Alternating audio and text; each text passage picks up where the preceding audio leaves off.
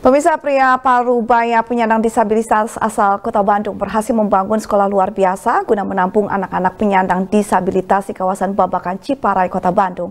Tekad yang kuat pemirsa menginspirasi Tatang guna mewujudkan mimpi kaum disabilitas untuk mendapatkan ilmu selayaknya masyarakat normal pada umumnya. Siapa sangka pria Parubaya penyandang disabilitas asal Kota Bandung, Tatang, mampu mewujudkan mimpinya membangun sebuah sekolah luar biasa yang diperuntukkan bagi anak-anak penyandang disabilitas. Sekolah luar biasa yang diberi nama SLB ABCD Caringin ini digagas Tatang sejak tahun 2003 silam. Pada saat itu dirinya merasa prihatin dengan kondisi anak-anak penyandang disabilitas yang tak bisa mendapatkan ilmu pelajaran secara baik di sekolah formal secara umum. Bangunan sekolah SLB ini pun merupakan renovasi dari rumahnya yang disulap menjadi sekolah. Kesebelas kelas yang dimiliki SLB ini dulunya merupakan kamar berukuran 4 kali 3 meter.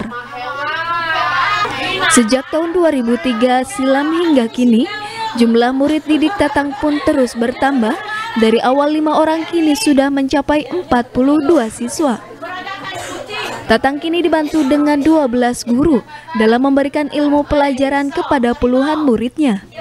Kelima gurunya merupakan ASN dan tujuh masih berstatus honorer, termasuk Tatang yang hingga kini masih berstatus honorer. Sekolah ini didirikan tahun 2003. Hmm. Ketika itu memang di sekitar lingkungan ini belum ada SLB. Jadi saya berinisiatif untuk mendirikan karena kebutuhan. Pada waktu itu anak-anak disabilitas belum tertampung. Uh, tahun 2003 jarang sekali ASB uh, eh, berdiri. Jadi apalagi di tempat ini. Jadi orang tua kalau ingin menyekolahkan anaknya kan harus jauh. Nah bagaimana caranya supaya saya bisa uh, meringankan beban orang tua Keberadaan SLB ABCD ini sangat membantu masyarakat yang memiliki anak penyandang disabilitas. Para orang tua mengaku sangat terbantu ketika anaknya kesulitan mencari sekolah luar biasa.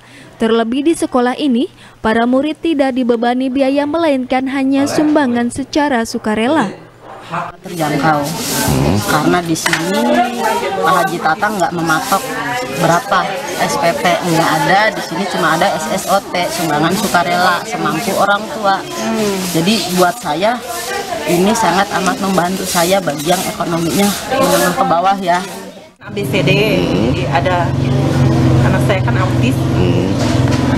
untuk uh, biaya pendidikannya sendiri gimana menurut Ibu? Terjangkau. Hmm.